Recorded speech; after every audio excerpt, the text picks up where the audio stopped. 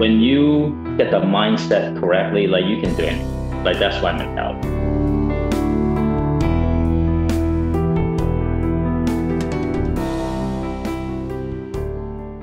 Hello and welcome. This is Whistlekick Martial Arts Radio, episode 332. Today, my guest is Sensei Alan Lau. My name is Jeremy Lesniak. I'm your host for the show. I'm the founder at Whistlekick Martial Arts, and I am a passionate fan of the traditional martial arts. So we do this show for you, likely another passionate fan of the traditional martial arts, because martial arts is great stuff. It brings us together, it helps us grow, and truly, I think if we really get down to it, the world is a better place because we train. You can find all of our products at whistlekick.com. Many of them are even on Amazon. And you can find all of our episodes at whistlekickmartialartsradio.com. Sign up for the newsletter, be notified about new projects, new products, maybe get a discount code, and get some behind the scenes info. We only do one or two a month. Not going to bombard you. We're definitely not going to sell your information. Just help you give more context to what we do here at Whistlekick and hopefully enhance your experience as a martial artist. But let's talk about today's guest. Sensei Alan Lau was born in Hong Kong, but he's now living in the Northeast, practices judo, he's a Muay Thai practitioner, he's an instructor.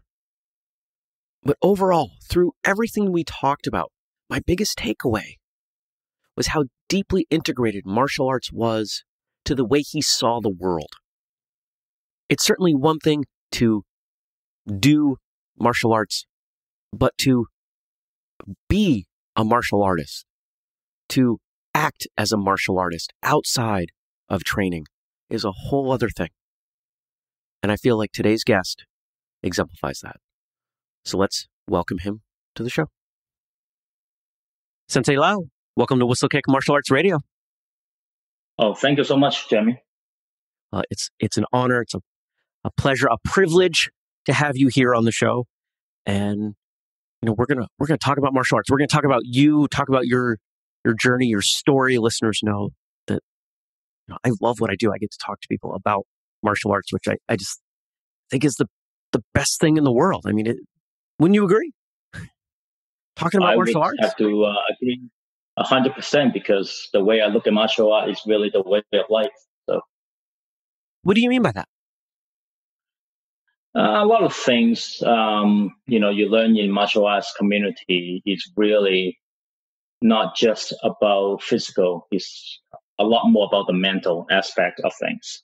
And since I'm a big fan of Bruce Lee, so you know he was a, uh philosopher on top of uh, being a uh, great martial artist. Uh, so I took that away from him a lot. Mm. There certainly does seem to be a lot of overlap between topics of philosophy and topics of importance in martial arts. And some of the listeners may know I was a philosophy major. I, I double major, but one of those in college was philosophy. So I'm happy to talk philosophy all day. Maybe that's why I love martial arts so much, though I started martial arts first. Maybe I love philosophy because of martial arts.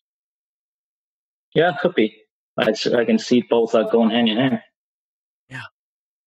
You mentioned Bruce Lee. How did he come to have an influence on your martial arts thought process? He pretty he pretty much um, kind of.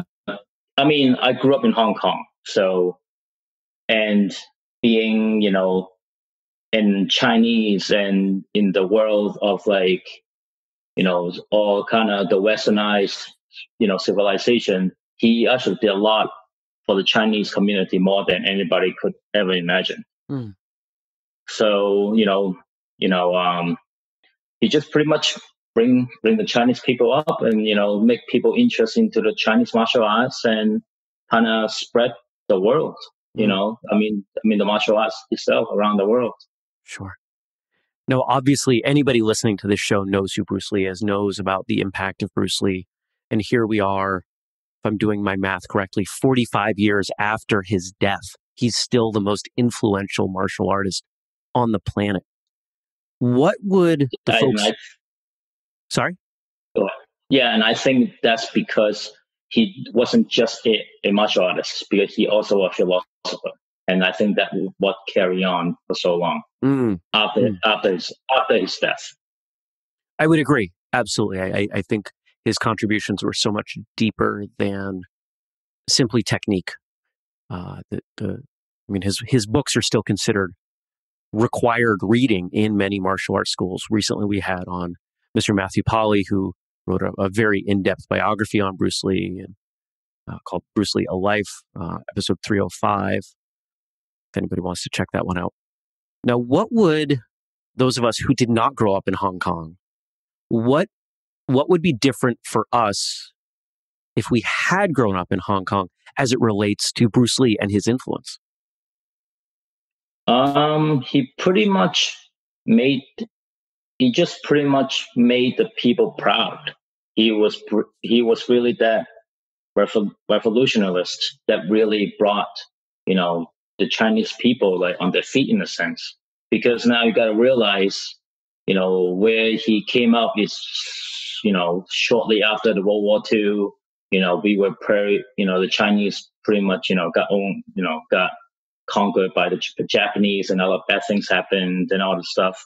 So, you know, the war ended in 1945 and then the communism started to take over and pretty much, you know, the allies, you know, they all got a piece of China and, you know, and Chinese people were actually in a really, really bad place, you know, until really Bruce Lee kind of, you know, kind of brought the Chinese people up, you know? Mm. You know, this is fascinating to me because it's a perspective that not only do I not have the context for, it's one I hadn't even considered. The idea of growing up in China and looking at Bruce Lee not just as a hero, as a martial artist, but a hero as a Chinese individual.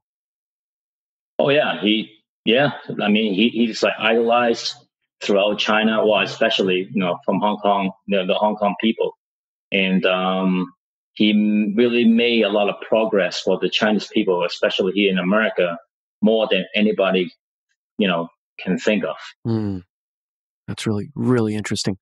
Now, was he the reason you got into martial arts?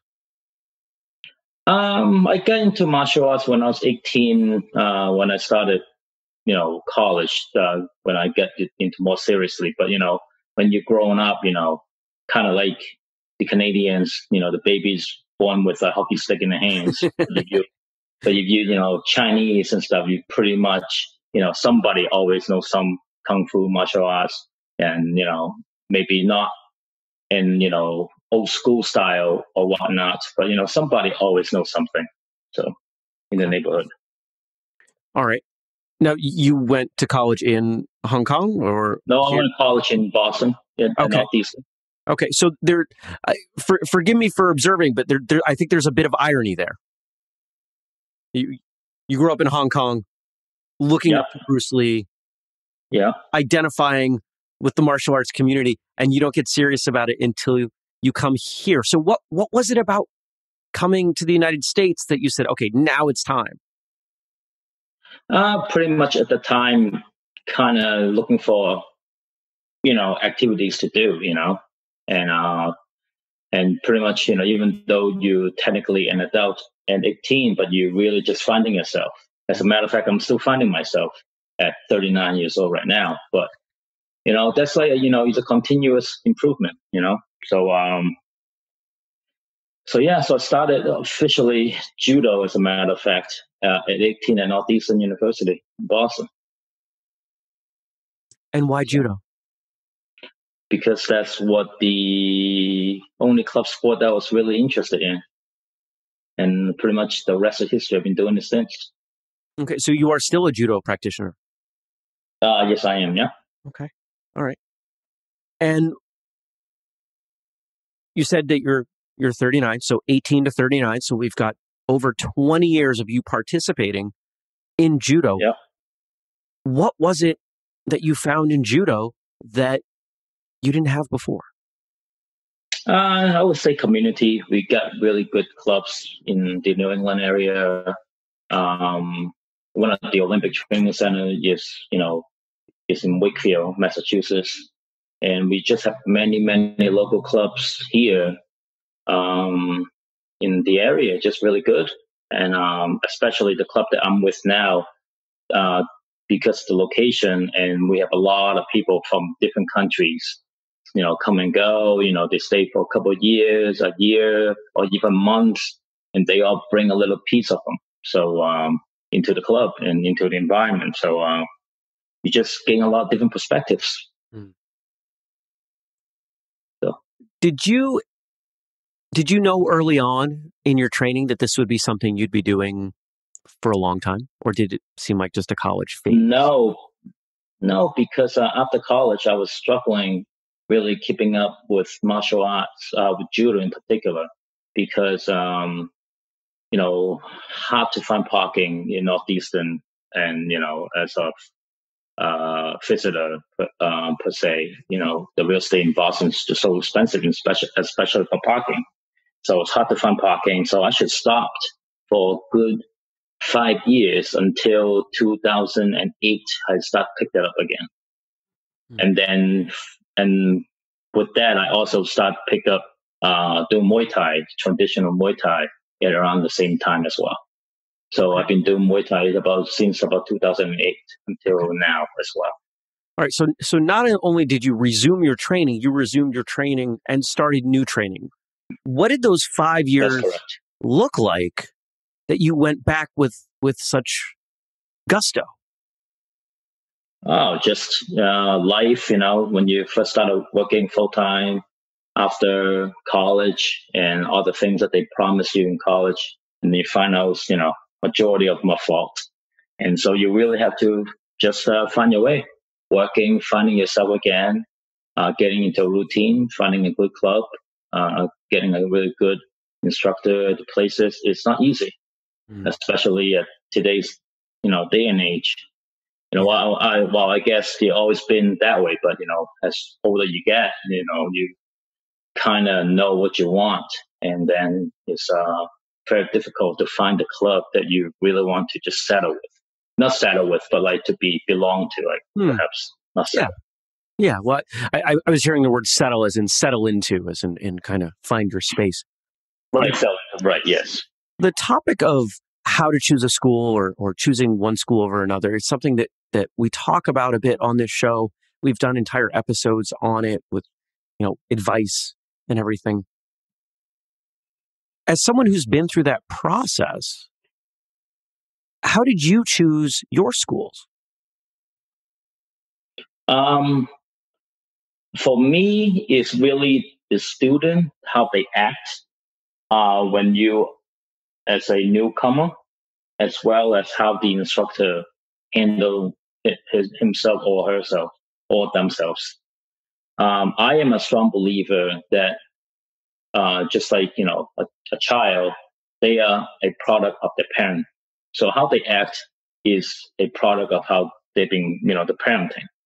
So to me, uh, how the student around me act is really telling me how the teachers are, have been teaching his or her students. So I go from, you know, the low of the totem pole and see, you know, if, if, if they treat a white belt with respect and, you know, and all the stuff. And even the classmate, you know, maybe a person only been doing it for five months for me or or the student instructors, you know, you know, with the same line with me and treat me with respect and with open arms, and I can kind of have a good indication of how the teachers are teaching. Yeah. If it goes the other way around, all they do is is like take the newbies, you know, put them in a corner and you know show them X Y Z and you know whatever, and then not much, you know, if I don't feel like the time being invested in the new students, and you know that's kind of how I decide to choose to um, to stay or not.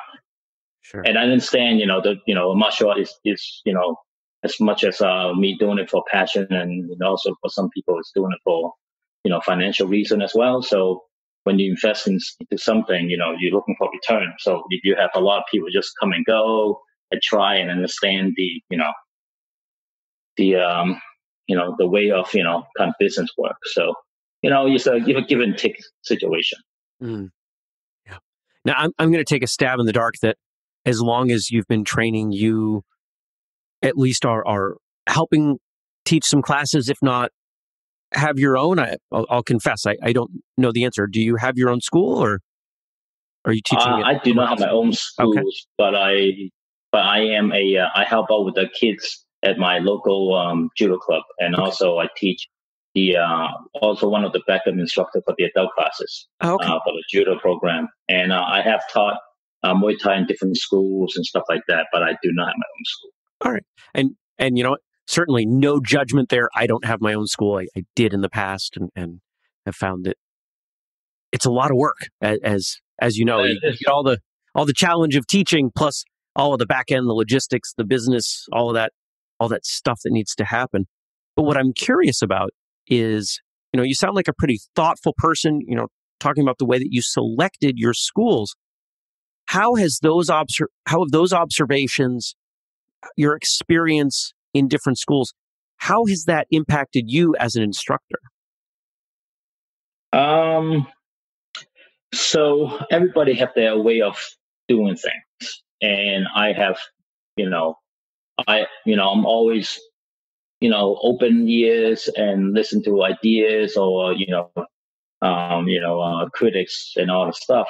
But at the end of the day, you cannot please everybody. So if I have a system or if you have a system that you strongly believe in and um you know to stick to it and then you you know sign up on it and you pride with it you know then i just kind of go do the same way as i do like i'm pretty old school so like the way of the way i teach is very fundamental and very stern at first. Mm. so uh, some people would you know in today's day and age you know people many people like you know instant gratification. So you know my way of teaching might not able to hold many students because you kind of have to kind of go through the whole kind of read up process by itself you know? But you know the people that who stays with me you know usually you know uh the people that really dedicated to so you know you gain some you lose some so it, it's it's difficult absolutely and i think it it for me, it was a little bit easier once I realized that I wasn't the only martial arts school. I wasn't responsible for sharing martial arts with everyone. That the folks that jived with my school, my our culture, the way I taught, those were the folks that belonged there. And there were two other schools in town. They they had options that, and some of the folks, you know, went went on to other schools after trying mine, and and vice versa. And you know, you probably have something similar. It, it to me, it seems like a um,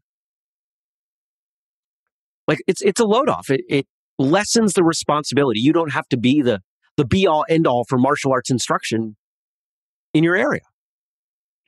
Well, I mean, you know, just a saying, you know, different strokes for different folks. So, yeah, totally, you know, people doesn't like my style you know, maybe they can find a home at different people, different teaching style, and and I'm happy for that. You know, at the end of the day, all, all I really want to do is to spread the knowledge, you know, of the martial art and make the martial art grow. So even with me or with another instructor, you know, I really it does I really don't care in a sense, you know, as long as someone is really learning the art, you know, enjoying the art, you know, spreading the art, you know. Mm. Absolutely. In your time training, I'm sure you've come across a lot of a lot of good stuff, a lot of weird stuff, interesting, funny, exciting.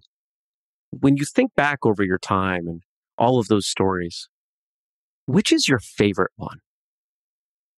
Hmm.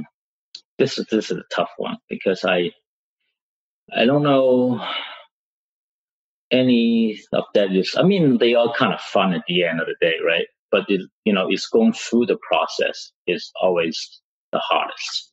Um, I don't really have any particular story that is really like, wow, it's very interesting. But um, uh, maybe maybe I would say so. So I have a grandmaster that in Muay Thai that I currently, um, you know, studying under. And I've gone to Thailand a couple of times to train with him and all the good stuff.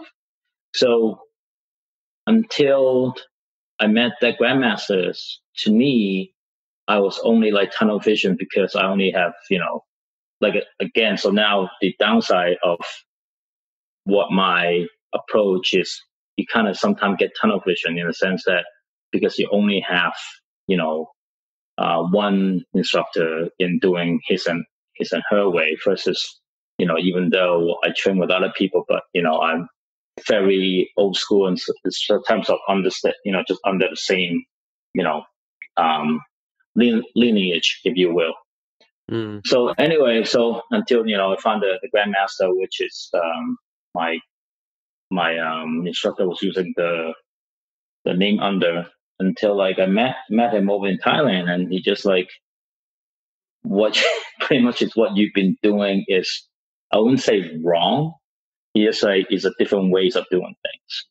So pretty much, you know, I went there with a, an idea that you know for you know scale of you know zero to ten, I was you know maybe in a five. You know, figure at that time I've been doing Muay Thai for about I don't know eight years, nine years or so, and then um pretty much I started at like thinking myself as, as a five, got down to negative two, and then came back to like a one or two. So that would be like a very interesting thing. And um, and you know, ever since that time, you know, like you, I think you know, you really need as much as you want, you should be loyal to your instructor, but um, or the schools or whatnot. But you should really cross train, especially you know from the same lineage and you know different people, and just um, really should explore and learn different things. Hmm. And then, you know, just really want to know, you know, what's good or what's bad.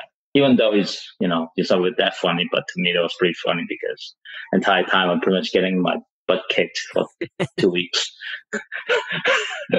every day, nonstop. You know, it's a pretty powerful experience. And, and we've had a couple other folks on the show who have had a similar one.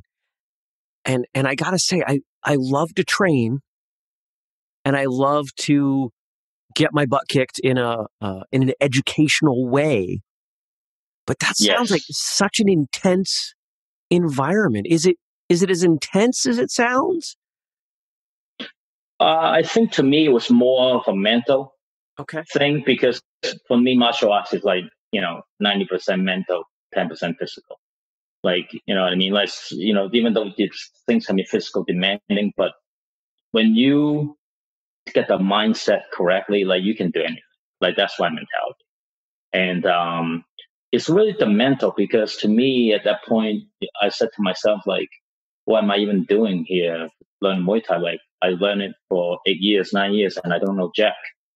you know what I'm saying? Like, mm. so that was, you know, but then, but then you kind of like one of those things you kind of build, your, you know, build yourself back up and just start learning from, from, from, you know, ground zero. Mm. So, what was the biggest thing that you brought back from that time training? Oh, just the whole system that my grandmaster uses. Okay. Um, he's actually being recognized by the Thai government to embrace his system to be taught in schools all around Thailand. Oh wow, that's awesome. Yeah, yeah. So he's you know he's he's done a lot of work. So he so the reason I like I like him is because he got the same mentality of Bruce when he was you know you know doing the uh, Jeet Do things.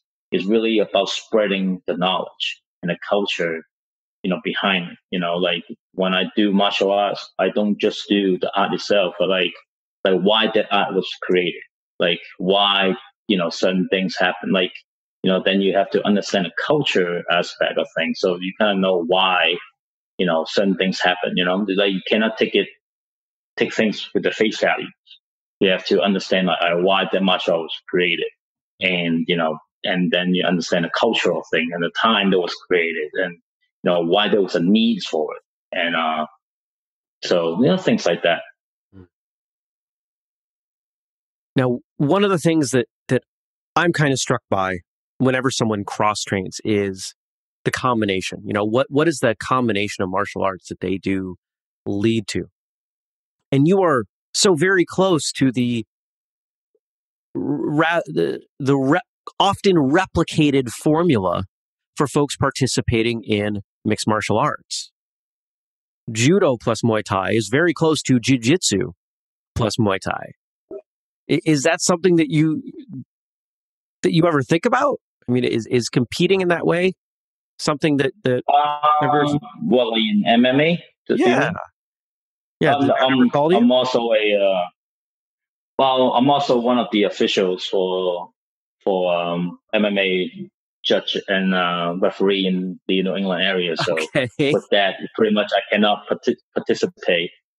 And uh, you know, I'm also one of the trainers for Muay Thai judge and uh, referee in the area as, as, well. So, so you know, for me, it's more for recreational.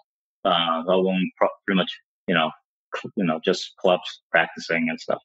Won't be competing in that big stage. Okay. All right. Well, I wasn't too far off if you found your way into MMA as a as a referee. I mean, there, there's there's something in that combination that that tends to tends to line up for for folks. I don't know what it is. I can't say, but yeah, yeah, MMA is a definitely you know those guys are definitely you know boys and girls. You know they're definitely tough. Definitely a different mentality. You know they days in days out they have to grind all day. You know, I give them a lot of respect. You know, just the fact that they someone who trains enough just to step inside the cage or the ring is is uh, should be real proud of themselves. And you know, hopefully they have a good team support them, and uh, in order to do that. I completely agree. It's no uncommon occurrence for someone to go through something difficult, something challenging in their life. But as martial artists, we have a different set of tools that we can use as we work through those challenges. Tell us about a time in your life where things were challenging and how you were able to work through it.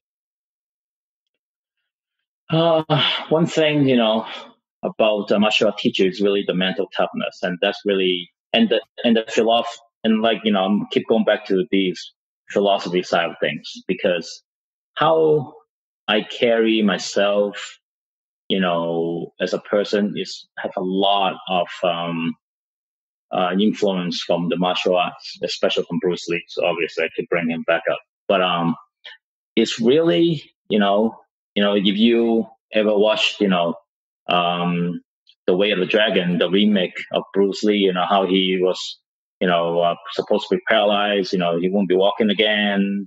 And then he pretty much have the FU mentality, you know, you're not telling what to do. And, you know, I'm just keep continue improving myself on my own. That's kind of you know, um, how I kind of adopted. You know, I, you know, I live my life really, you know, with try to minimize my regrets. You know, I, you know, that's why I could be, you know, very frank and stern on certain things. But you know, I, as long as I don't offend people, and uh, you know, that's will make you strong in terms of mentally and you know, life. You have good times and bad times, you know, and and that mentality really keep me in line and focused. Because if you keep dwelling on things, you might losing yourself sometimes. And sometimes you just need to step back, stay strong, refocused, look at the big picture, and then, you know, look at the end result, what you want to do at the end of the day. You know, you know, and then you can reevaluate. So I think that right there is really teach, you know, have taught me you know, really how to act as a person and how to face, you know, life decisions of, you know, easy or difficult. And, and, you know, you know, to me, the thought process is the same. You know, you, uh, me, I'm a pretty much an end result oriented guy and how to get there is, you know, you know, you have multiple ways to get there, but the end result I want X and then I will do my best, you know, to, to achieve it. So that's kind of how I kind of carry myself. Right on. When you think about the folks that you've trained with, you know, yeah. and, and you know, not just your instructors, but folks in Thailand, folks that you've trained with here, maybe even friends in Hong Kong. If you had to name one or maybe two of them who were the most influential on who you are as a martial artist. And that doesn't necessarily mean your skill set, it could mean your philosophy. It's really however you define it. Who would that person or those couple people be? So the people that I have dealt with, like in person, not not just some fictional guy, right? Not fictional. You know what? Sense, it, you know? it, it could be fictional. It could be, you know, it, it could it could be Bruce Lee. You know, we've already spoken about him. I I don't like putting parameters on the answers to these questions. The way you interpret them tells us just as much as what you say. Um, I would say so. So now I'm going back to whole philosophy things. So, so have you heard of uh, the Art of War by Sun Tzu? Absolutely. Sun Tzu. All right. So Sun Tzu was definitely one of the guys that I would like to uh, that uh, that would have influenced on my in my martial art training because because that his philosophy really help you. You know, you can be physically strong or weak or whatever. You can pretty much using your mind to set up to what good or what's best for you. Um, so that right there, definitely, um, really, I, I think every single martial artist should read that book. Uh, if you know Chinese, read the Chinese version and then look at the translation version and then and then you can absorb whatever you think, um, into your own interpretation. Um, then the uh, second book, you know, the other person is uh, the Book of Five Rings. Uh, that's by the Japanese uh, martial artist. Mhm. So that's pretty much talk about the you know the five elements and how each element is. But then, but you know, that's all the philosophy. But then you know, obviously, Bruce Lee would be one of the big influential person. Um, um, you know, in my, you know, at the early beginning, and then my current grandmaster from Thailand, he definitely almost like a living legend to kind of doing what I want to do and what Bruce was doing when he was alive in terms of spreading the martial arts and really just um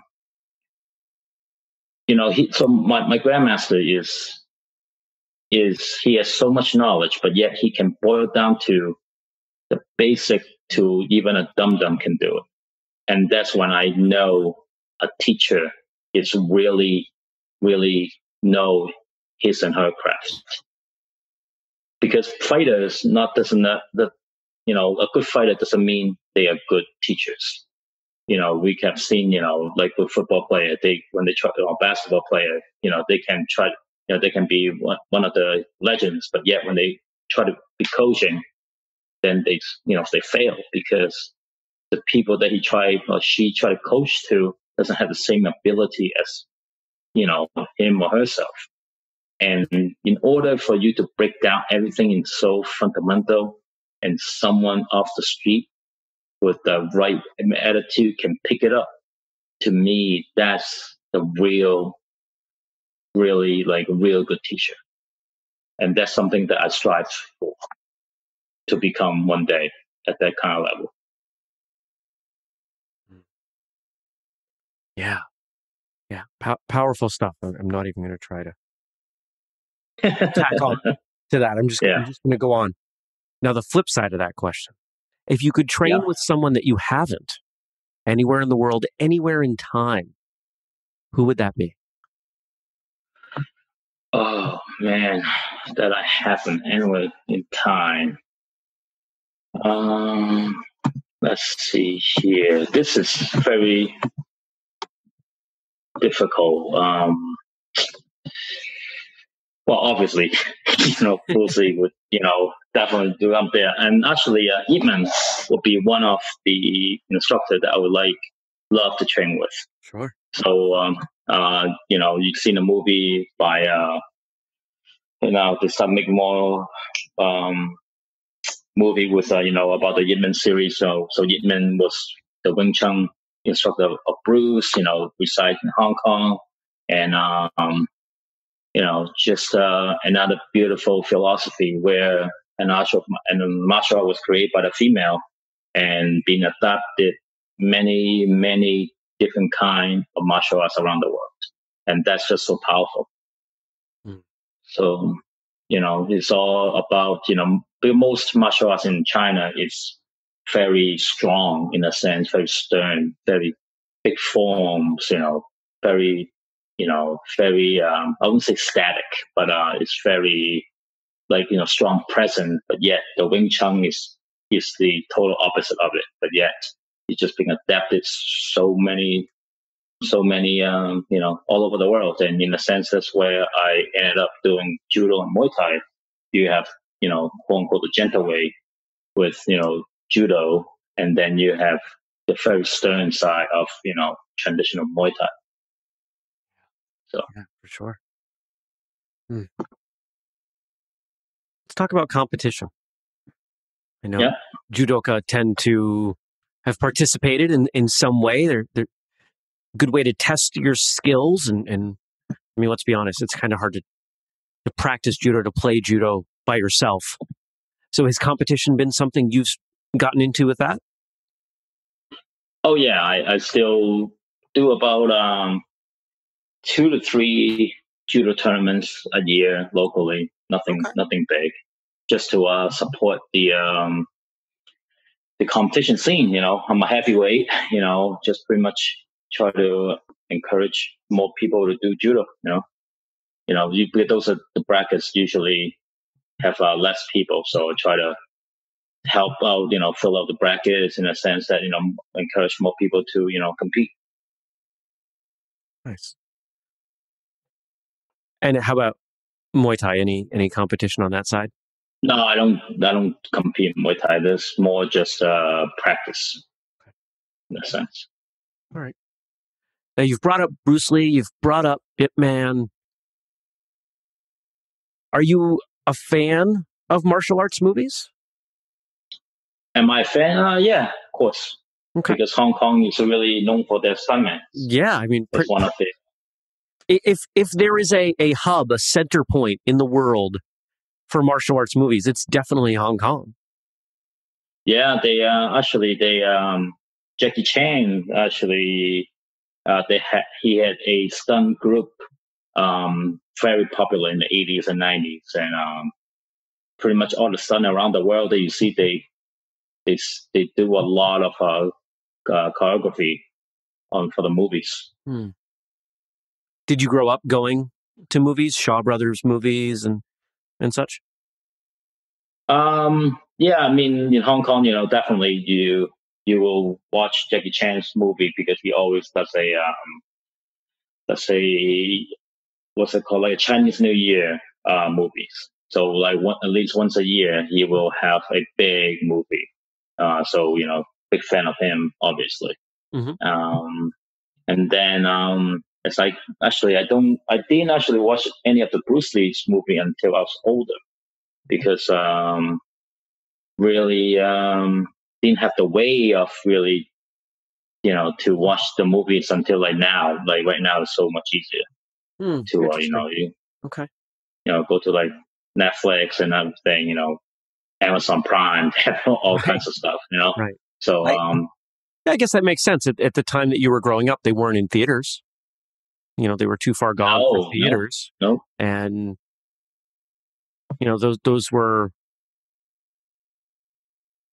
um, I mean, the, the movies we tend to think of, if, if I'm remembering correctly, were American releases. So, you know, getting them on video, you know, must, must have been difficult. I could, I could see that. That makes sense. Yeah, they were, they were my mom's generation. Pretty much, I lived through how he was through my parents, you know, word of mouth mm-hmm. until older that I actually have a chance to watch it myself. Sure. Are there any more of, of the the modern martial arts movies that you've seen recently that really strike a chord for you? Ooh, recently, um, mm, well, obviously the Ip series are good um, they they've done very nicely. Um, so there was a movie back in the early '90s was by Jet Li. That's one of the um, you know that's one of the movies I like to watch. That kind of more like style. They call uh, Once Upon a Time in China. Mm-hmm. So he portrayed as um, one of the um, a martial artist who pretty much escaped the communism and then went to went to southern China and eventually um, had a school in Hong Kong for a very brief uh, period of time. So, um, you know, so that movie is you know very like headstrong kind of movie that that really, you know, um, you know, it's towards the, the the end of the whole dynasty time and you know accepting the new way of the culture and stuff. So, so you know, you know that's kind of like my mindset, kind of like around that that period of time. You know, the early, you know, I would say maybe between like 30s or 40s time time frame, because that's where many people had to struggle, and then, and that's always the saying, you know, the chaos create heroes. So, so uh, that's you know that kind of movies around the time frame that really attracts me the most. Yeah, I can see that. Now, as we look into the future, as you consider your training and teaching and, and all the other things that you have going on, what are your goals with your martial arts training? Are, are there, you know, are, are you looking to hold the path you're on? Are you looking to add another style, drop one, achieve a certain rank, attend a certain um, training space? I mean, you know, what what's what's keeping you motivated to be dedicated to, me ranking to this lifestyle? To me, to me, um, you know, like I said to you before, you know, martial arts to me is really the way of living. So to me, ranks don't mean anything to me. Like I can I can be a white belt for the rest of my life for all I care. Like I really don't care about that. But it's about knowing the knowledge, knowing the art, understanding the art, and spread the art and really spread the art in a way that a person off the street can have no prior knowledge can understand. That's my whole goal. Um, you know, um, because it's let's be honest, martial art is not easy. Any any arts that you do, if you want to do it right, people spend decades of their time just to perfect, you know, or strive for profession into certain things. And, you know, and I just have to stay focused because, you know, there's so many trains, you know, going on all the time, but, you know, you have to stay true to art and really spreading the fundamental and then let the student how to mix and match them. And that's kind of like my goal, if that makes sense, because I can't do it all. I cannot do it all. You know, but I'd like to be specialized in a couple of things that yet, you know, so I know how to teach and that. I know what works. You know, almost like a like a proven track record in a sense. You know, and that's kind of what drives me as a you know practitioner, you know, as a teacher or whatnot, and you know that's what you know keep me going. Hmm. Now, if people want to want to reach you, if they want to find out about your school, maybe they're in the the New England area or they're traveling through and they want to check out what you've got going on, or they want to find you online, you know, how would they do that? Uh, the you know Facebook is the easiest. Obviously, you know my name Alan L A L E N L E U. Um, you know that's what they can find me on Facebook. Obviously, um, I have a lot of things going on. So obviously, martial arts is my passion, and but I have other things going on at the same time. So it's uh, I just often multitask. But you know, but I always go for seminars or go to different seminars or teach seminars just to really exchange ideas and you know just um, you know no no one knows everything. That's my that's you know that's always uh, stay with me. So you always it doesn't matter from who. It could be a brand new person just off the street, and could be just you can be enlightened that way. You know, so yeah. Yeah, my, my original instructors taught me that even a white belt on their first day, if you're really paying attention, has something to teach you. Oh, of course, yeah. And it, it very well may, may be that it's much harder to teach a white belt on their first day than you would like it to be. I learned that lesson yes, many, many times. You know, but um, but that's that's kind of, but that's when I go back to, you know, if if you can break it down, and to the point that even the white belt, if someone never done it before, can try to get an basic understanding about it and not being afraid of it.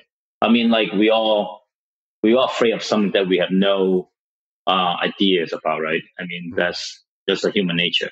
But if you can conquer the fear in your head, you know, in your mental and in your physical things, you know, that person is pretty much unstoppable.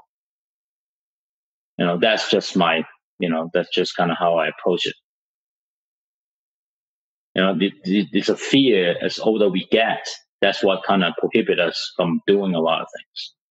Like, you know, for instance, now you're older, you have more responsibilities. So now, all right, if I do X, Y, Z, what happen if I'm out of work because I do X, Y, Z? So now that kind of stopping you. But if you look at kids, you know, two, three years old, I mean, they have no fear. I mean, they, they do tumbling. They, you know, they can stretch their legs, you know, weight behind the head. You know, they got all, they got everything going for them, you know. So uh, it is it's quite interesting how life really plays out. I really enjoyed my conversation with Sensei Lau. I appreciated his perspective, his thoughts on teaching, on training, on cross training. You know, certainly here's someone who reflects quite a few of my ideas, but also has a passion and a perspective all his own. And I don't know about you, but that enhances my perspective, my training, the way I look at my martial arts. Hopefully, you got even half of what I did from this conversation. If you want to check out the show notes where we have links and photos and all kinds of other good stuff, you can find those at whistlekickmartialartsradio.com. I just spent a few minutes on Sensei Lau's Instagram and there's some good stuff on there, some entertaining stuff, some personal stuff, some political stuff. It's no surprise. He's just as open in his social media as he was here in this conversation. And of course, you can find all of our products, all of our services at whistlekick.com. It's all here for you. Hopefully, we have things that you are interested in. If not, check back soon because there is so much on the way. It's kind of ridiculous. It's a little overwhelming on our end. That's all I've got for you today. Until next time, train hard, smile, and have a great day.